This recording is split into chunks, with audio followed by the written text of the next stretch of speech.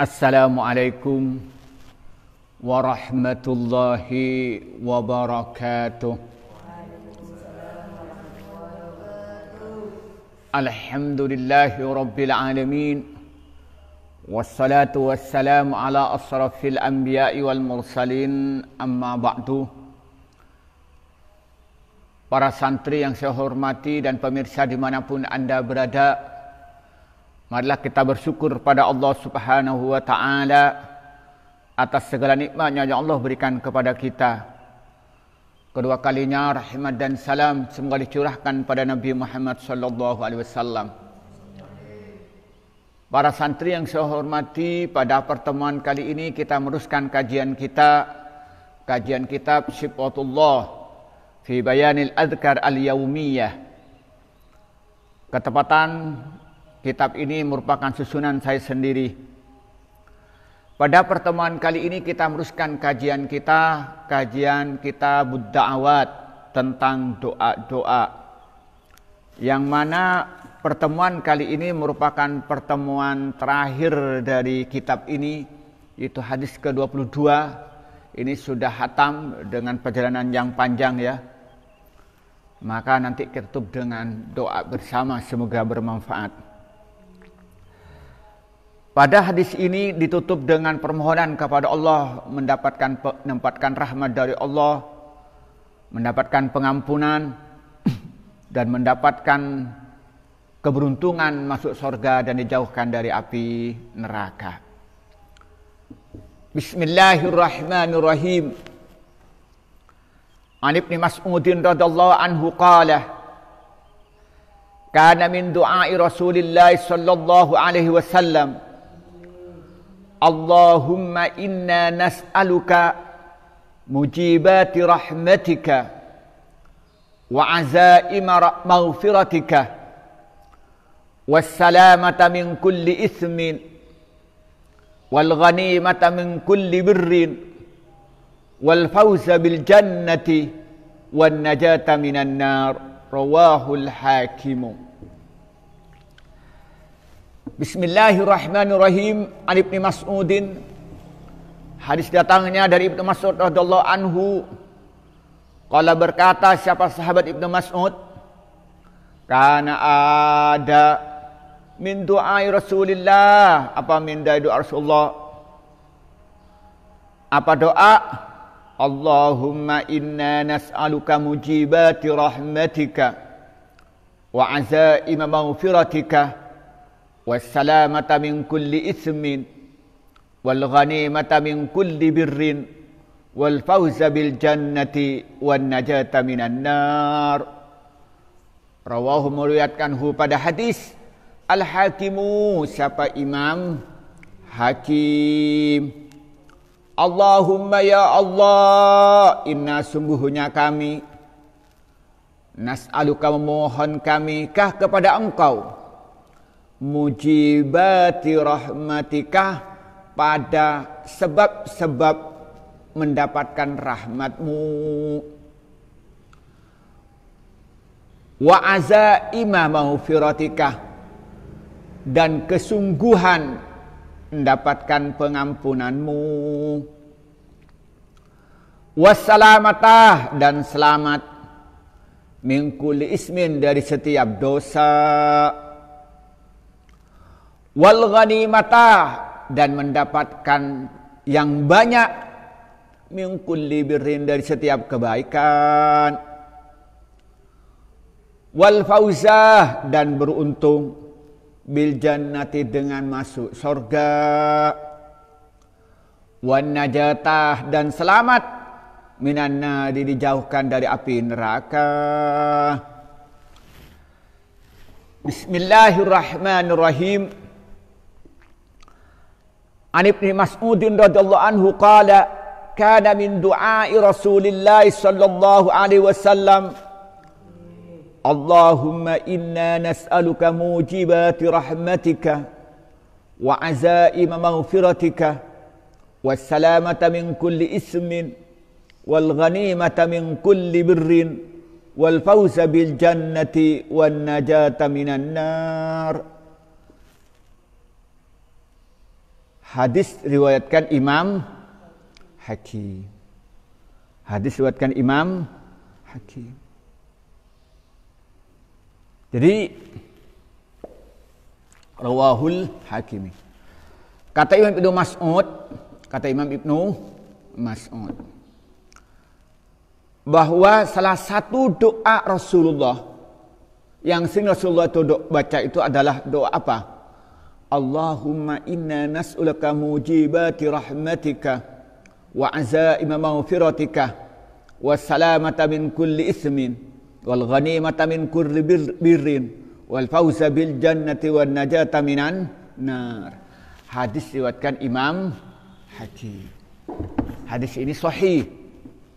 Karena Imam Hakim itu punya kitab namanya kitab Mustadrak. Jadi Imam Hakim itu Mustadrak dia itu banyak mengomentari hadis-hadis yang diriwayatkan oleh ulama-ulama yang lain. Ya. Di antaranya dia itu mengomentari hadis yang ada dalam kitab Ihya Ulumuddin yang dikarang oleh Imam Al-Ghazali. Nah, hadis ini sahih. Kalau hadisnya sahih berarti apa? Doa ini betul-betul datangnya dari Rasulullah.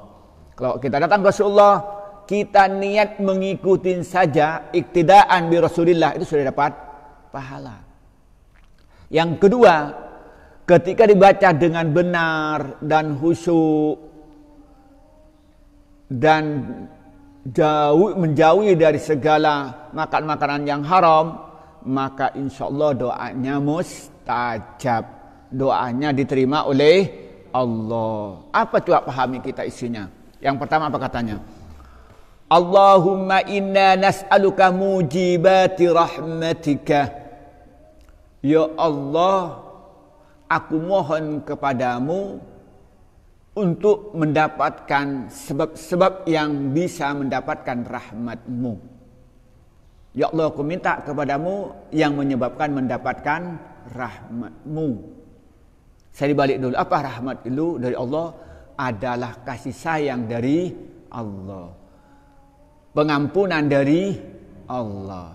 Itu rah, rahmat. Nah, kita minta kepada Allah hal-hal yang membuat mendapatkan rahmat Allah. Apa di antaranya? Mempunyai iman yang mantap kepada Allah. Tidak ada keraguan sama sekali.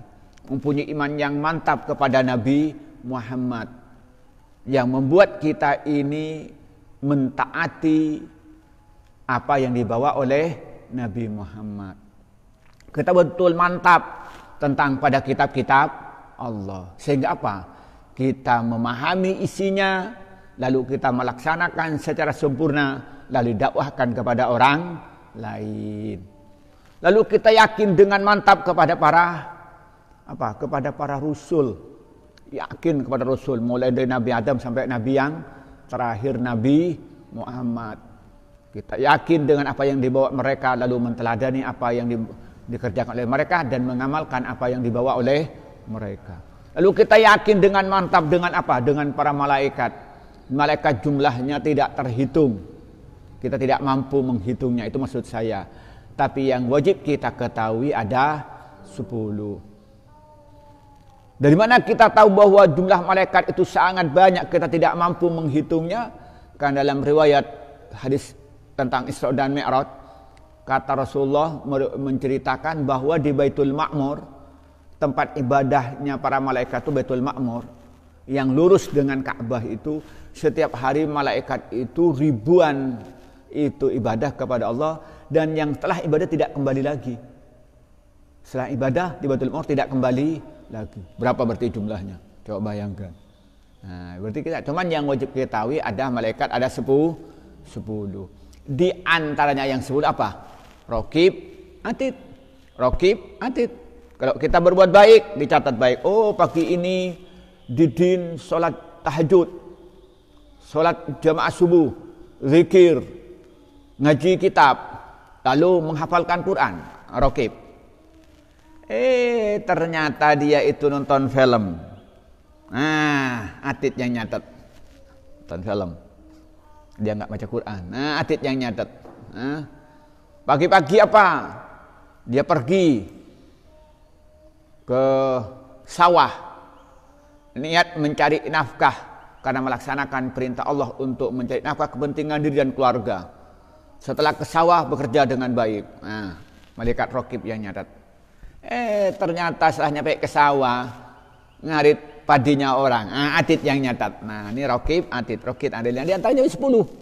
Nah ah, nanti di akhirat ada malaikat malik, ada malaikat Ridwan. Eh katanya, eh dulu di dunia kamu ini apa katanya? Kamu rajin jemaah. Kamu apa? Rajin menghafalkan Quran. Ah katanya mereka Ridwan. Sini dong, sini dong. Nah, di dunia banyak pacaran. Nah, apa kata malaikat Malik? Sini sini sini, itu bagianmu. Nauzubillah. Nah, kita ini kita yang pertama kita punya keyakinan itu. Yang kedua apa? Banyak beribadah kepada Allah. Semata-mata ikhlas mendapatkan semata-mata mengharapkan ridho Allah. Semata-mata karena cinta kepada Allah dan Rasulnya. Kita banyak ibadah kepada Allah. Kemudian kita menghindari segala perbuatan maksiat semata-mata karena takut terhadap murka dan azab Allah. Kemudian berakhlak yang mulia karena menteladani Rasulullah. Karena taat kepada Allah. Itu Nah, kalau sudah begitu, apa yang terjadi? maka kita akan mendapatkan rahmat Allah. Maka yang diminta kita pertama kali apa? Hal-hal yang membuat mendapatkan rahmat Allah. Enak kalau dapat rahmat Allah, enak. Di, sor, di dunia badan sehat, rezeki tercukupi, mulia dalam pandangan manusia, perilakunya benar. Nah, setelah mati masuk surga. Alhamdulillah. Yang pertama apa katanya? Aku minta kepadamu hal-hal yang menyebabkan mendapatkan rahmatmu. Yang kedua apa? Wa azaima maufiratikah. Dan kesungguhan dan beberapa kesungguhan untuk mendapatkan pengampunanmu. Kenapa kata kota azaim? kata azimah, perlu kesungguhan, perlu semangat. Karena untuk mendapatkan pengampunan dari Allah itu perlu perjuangan. Coba, sampai mendapat pengampunan dari Allah supaya terampuni dari dosa zina. Bagaimana kita menghindari? La taqrabu zina, jangan mendekati zina. Sedangkan sekarang banyak yang mendekatkan zina. HP mendekatkan zina. TV mendekatkan zina jalan-jalan ke alun-alun mendekatkan pada zina. Semuanya sekarang ini membuat kita mendekatkan diri kepada zina. Nah, coba kita melihat HP, internet, semuanya gambar-gambarnya membuat kita mendekat kepada perbuatan zina. Kita pergi ke tempat-tempat rekreasi, apalagi pergi ke pantai, aduh orang mandi, nah, sudah mendekatkan diri kepada zina. Kolam renang, waduh, mendekatkan diri kepada zina, semuanya. Maka kita ini perlu semangat untuk menghindari perbuatan maksiat itu. Nah, belum lagi kita lihat Facebook, melihat Twitter, isinya apa? Saling merendahkan, saling menghina, saling mencaci, saling memfitnah. Ah, itu apa? Sulit kita. Maka karena itu minta kepada Allah diberi semangat untuk mendapatkan pengampunan dari Allah. Artinya diberikan kemampuan menghindari segala perbuatan maksiat. Baik yang dikerjakan oleh hati maupun yang dikerjakan oleh anggota badan. Yang kedua, kedua. Wassalamata min kulli ismin. Nah, ini lebih tegas lagi. Dan diselamatkan dari segala perbuatan dosa. Selamatkan dosa yang dikerjakan oleh hati, perasaan kufur kepada Allah, perasaan kufur kepada Nabi Allah. Kemudian perasaan kufur pada hari kiamat. Ini yang paling besar. Kemudian di bawahnya apa? Perasaan dengki kepada orang lain. Perasaan sombong kepada orang lain. Meremehkan orang lain. Nah, itu apa? Perbuatan dosa yang dikerjakan oleh hati oleh anggota badan. Aduh, kerjakan oleh mata. Hmm, hmm, ada yang lewat itu. Diam di masjid, duduknya di masjid tapi lewat di jalan. Orang lari pagi, orang guys. Pakaiannya terbuka. Nah, sudah dosa megang Quran depan masjid. Nah, kena juga. Iya, Pak ya? Nah, mata. Apalagi buka HP. Apalagi nonton TV. TV-nya pakai apa? TV kabel apa pakai anu? Pakai parabola. Ah, pakai parabola. Waduh, parabola itu sudah berapa itu channel itu? Banyak nggak kehitung kalau pakai parabola. Parabolanya parabola besar itu. TV luar negeri, Inggris, Amerika, Jerman, Australia, Singapura, nah, ya ada Arab Saudi lah, ada TV Quran, ada TV. Tapi malas mau melihat TV Quran, melihat Ka'bah, malas mau melihat TV Nabawi. Nah, apa yang ditonton? Ya itu perang, oh, nyanyi, ya itu. Nah mata, belum lagi telinga. Waduh, telinga senang kalau mendengarkan lagu-lagu sambil begini sendirian. Apalagi pakai Walkman. Kayak orang gila sendirian begini. Bukan dikir itu. Duk, nah itu dosa telinga. Iya Pak ya? Ah, dosa lidah. Ngomong. Sekarang itu orang kalau mau mencaci orang nggak perlu datang ke rumah orang. Cukup ngomong di HP-nya, di share. Iya Pak ya? Coba lihat banyak orang yang dipenjara itu karena menghina orang lain.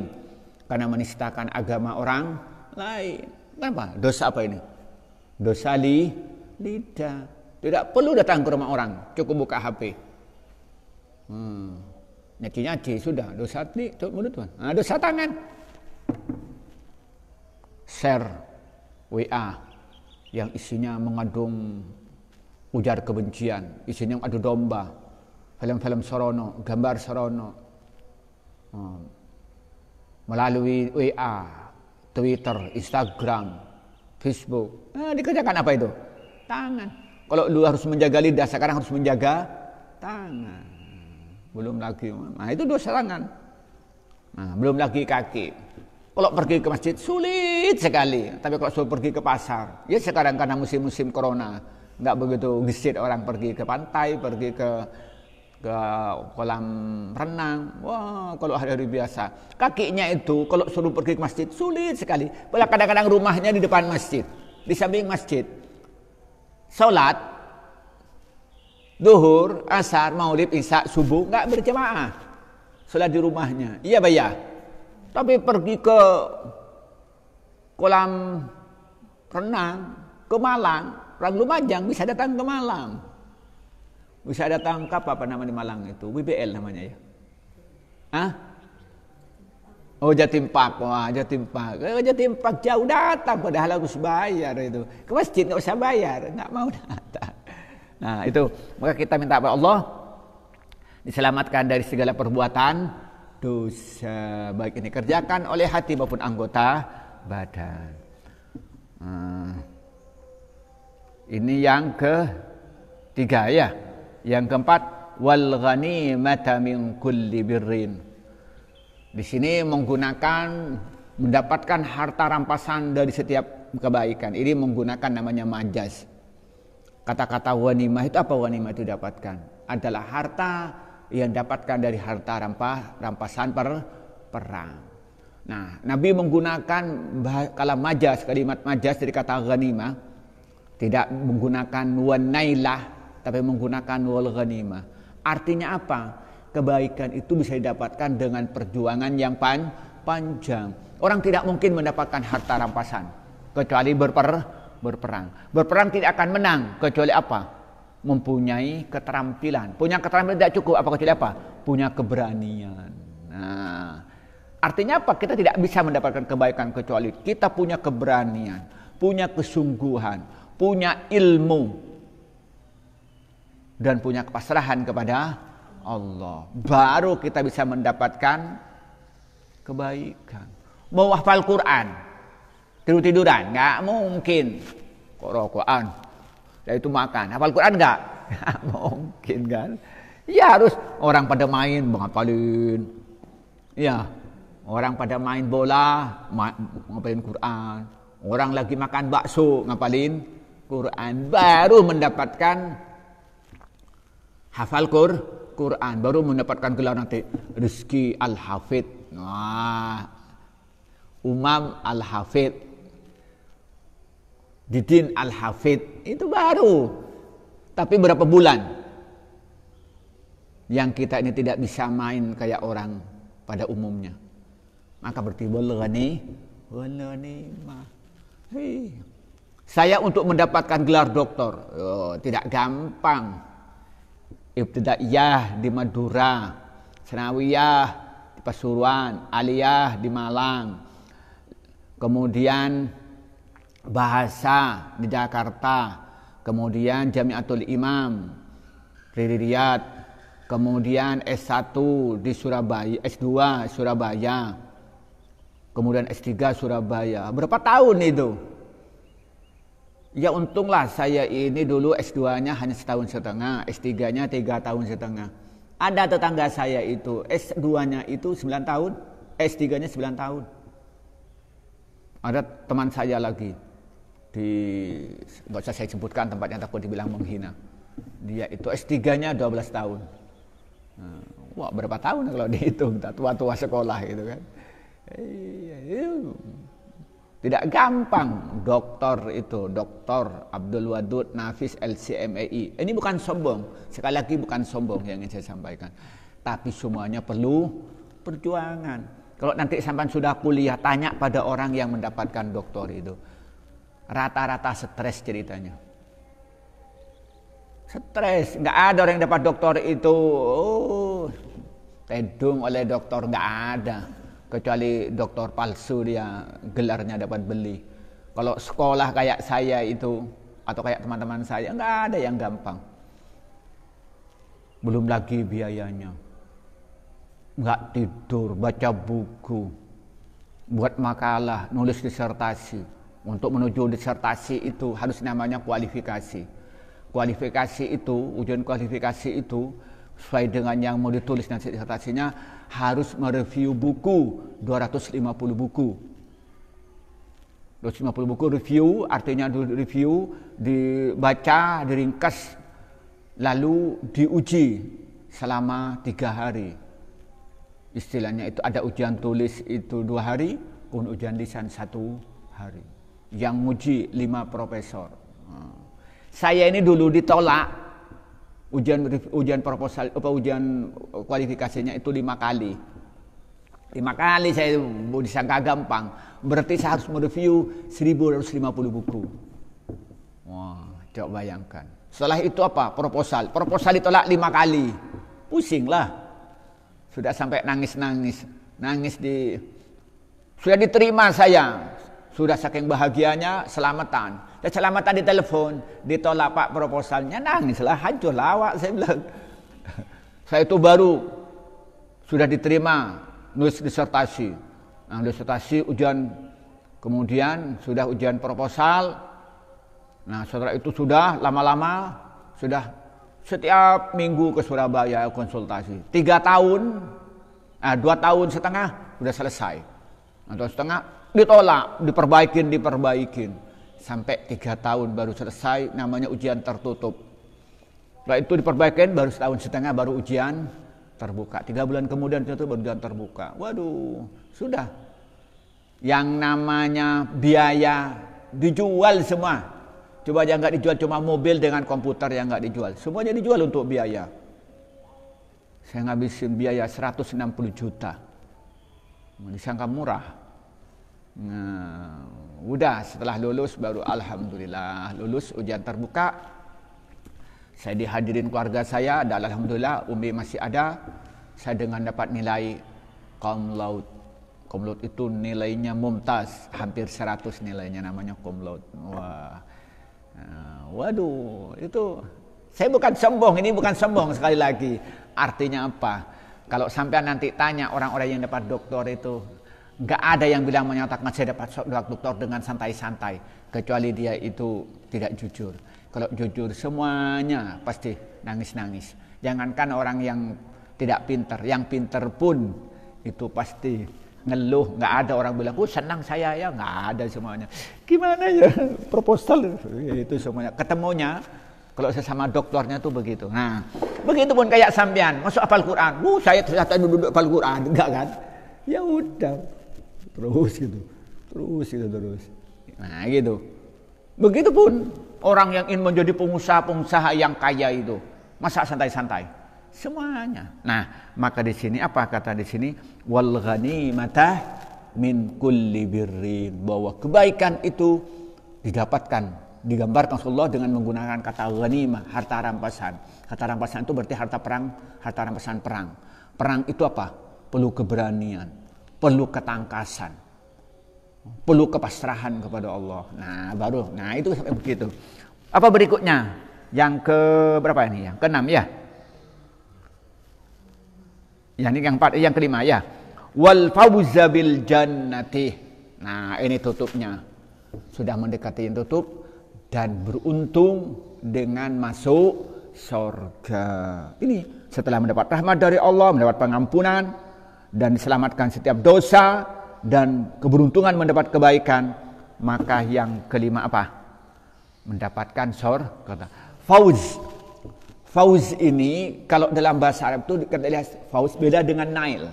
Fauz itu kada kata naya nalayan nalayan nalu nailan itu didapatkan dengan mudah. Tapi kalau kata fauz, fauz itu kalau bahasa kita itu adalah hadiah karena menang dalam perlombaan. Maka sebelum al-faizun. Al-faizul awal juara pertama. Ini kata-kata faiz itu orang juara. Masa orang juara itu tenang-tenang. Juara tahfidul Quran. Masa orang nggak hafal dihafal juara hafal Quran? Enggak kan? Juara lomba matematika. Masa orang nggak ngerti matematika? Mesti orang yang juara itu apa? Orang yang he hebat. Orang hebat itu apa? Masih melalui perjuangan panjang. Itu namanya faiz. Di sini Allah Rasulullah menggunakan wal fauza bil jannah. Yang diterjemahkan oleh kita keberuntungan dengan masuk surga. Tapi kata-kata fauz itu bukan ketepatan. Eh, no pese. Gak begitu. namanya itu lukoto. Gak sengaja namanya lukoto. Eh, kok ada uang. Kata apa? Uh, saya apa? Berhasil saya menang lomba tahfidzul Quran internasional. Nah, itu untuk menangnya bagaimana? Ada proses yang panjang, bukan didapatkan dengan gratis. Maka Rasulullah di sini menggunakan apa? Wal fauza bil jannah.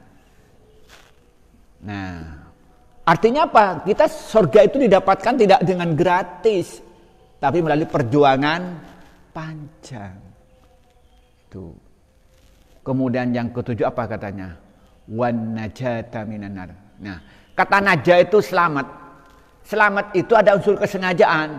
Seperti begini. Wan najata min virus corona. Kamu selamat dari virus corona. Itu tidak tidak semerta-merta. Dia itu ada usaha dengan sungguh-sungguh namanya najah. Sampian umpamanya berusaha selalu menjaga kebersihan, lalu menjaga makanan yang menimbulkan eh, apa uh, imun turun. Dia menghindari dari kerumunan. Lalu dia banyak berdoa kepada Allah banyak baca Al-Qur'an. Itu namanya baru selamat dari virus corona. Ada usaha yang konkret dan sungguh-sungguh itu namanya najah maka di sini Rasulullah menggunakan wan najata minan minan nar kita selamatkan dari api neraka. Bukan semerta-merta siang tidur, malam tidur, ngobrol katanya. Ingin selamat dari neraka ya nggak mungkin lah. Nah, jadi kata naja itu ada usaha yang sungguh-sungguh menghindari segala hal yang membuat dirinya itu masuk neraka. Neraka itu namanya najah. Maka di sini yang terakhir wan najata minan nar. Ya. Jadi doa ini pada intinya minta kepada Allah segala hal yang membuat mendapatkan rahmat dari Allah. Kemudian dia minta kepada Allah melakukan hal-hal yang sungguh-sungguh untuk mendapatkan pengampunan dari Allah. Kemudian yang ketiga itu diselamatkan dari segala perbuatan dosa. Jadi dia itu betul-betul berusaha. Kemudian yang keempat dia mendapatkan kebaikan yang diawali dengan kesungguhan. Kemudian yang kelima dia itu beruntung karena usaha yang sungguh-sungguh sehingga dia berhasil masuk surga dan berusaha terhindar dari api neraka dan betul-betul selamat dari api neraka. Ayo kita baca doa bersama-sama. Ini merupakan hadis yang terakhir dari kitab Sifatullah fi al-Yaumiyah. Ayo kita baca doa. Bismillahirrahmanirrahim. Allahumma inna nas'aluka mujibati rahmatika wa azaima maghfiratika wassalamata min kulli ithmin wal ghanimata min kulli birrin wal fawza bil jannati wan najata minan nar Semoga kita yang hadir di masjid ini dan juga pemirsa di mana pun anda berada dan kapan pun oleh Allah diberikan keberuntungan dengan mendapatkan rahmat dari Allah dan mendapatkan pengampunan dari Allah dan selamatkan segala perbuatan dosa dan mendapatkan keberuntungan mendapatkan segala kebaikan dan keberuntungan masuk sorga dan dijauhkan dari api neraka. Inilah yang bisa kita baca pada kitab ini. Semoga bermanfaat kitab ini kepada saya sendiri sebagai pembaca dan juga penyusun dan juga semua kepada yang mendengarkan. Dan kitab ini saya diberi nama kitab Sipotullah sebenarnya itu nama anak saya Sipotullah itu anak yang laki-laki namanya Sipotullah lalu saya menulis kitab Sipotullah dan insya Allah nanti tapi bukan waktu dekat saya akan meneruskan eh, tulisan saya sedang saya rencang itu judul kitabnya itu Al-Mawaddatus Salihah fi Bayanil Ahlak al-mazmumah wal mahmudah.